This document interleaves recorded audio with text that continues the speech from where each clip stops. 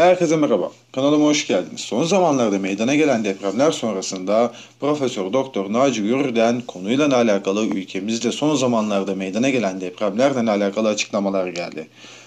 Son bir haftada Ege, Akdeniz, Doğu ve Marmara bölgesinde Ege, Akdeniz daha şiddetli olmak üzere dikkate değer yüzden fazla deprem meydana geldi dedi. Korkunç olan ise Ege, Akdeniz, Marmara'da olan depremler, yıllanmış faylar 7 üzeri rahat deprem yaratabilecek yerlerde meydana gelmekte. 7 üzeri deprem yaratabilecek 100 yıllık kırılmamış faylar var dedi. Sıklıkta olan depremler sonrasında levhalar hızlıca birleşiyor ve çok deprem olmaya başladı bölgede. Özellikle İstanbul, Çanakkale, Yalova, Tekirdağ, Balıkesir, Bursa, Bilecik, Sakarya, Kocaeli, Düzce, Marmara'da şu an için çok riskli durumdalar.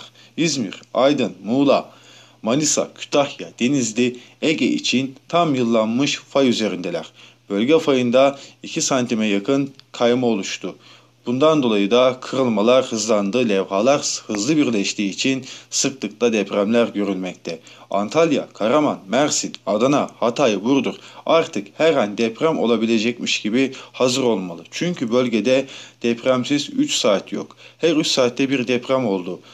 Bu bölgede son 15 günden beri her 3 saatte bir deprem olduğu açıklaması geldi Naci Görür'den. Hızlı levha birleşme sonucu ciddi tedbir gerekli çünkü deprem şiddetleri de bir yandan artarken Deprem sayısı da bölgede artmaya devam etmekte. Bu da levhaları hızlıcana birleşmesine yol açmakta diye açıklama gerçekleştirdi. Doğuda ise Bingöl, Muş, deprem olasılığı en yüksek yerler. Van, Bitlis, Adıyaman, Malatya, Siirt levhaların hızlı birleştiği yerler. Kırılmalar bu yerde de devam etmekte. Bu bölgede 7,5 şiddetini bulacak bu derecede şiddetli deprem yaratacak eski faylar mevcut. Genel olaraktan, genel bazda bakıldığında ülke geneli enerjisi birikmiş çok sayıda fay var. Bir yerdeki deprem diğer fayı tetiklemekte ve buradaki fayı kırabilmekte. Antalya'daki 3.1'lik bir deprem Ege'deki yıllanmış fayı kırabilir. Bu da bizim için kötü olur çünkü 7 üzerinde bir deprem demek bu olay. Bundan dolayı acil deprem odaklı kentsel dönüşüme ihtiyaç var. Bu sefer durum gerçekten de farklı ve ciddi tedbir artık şart diyerekten açıklamalar gerçekleştirdi.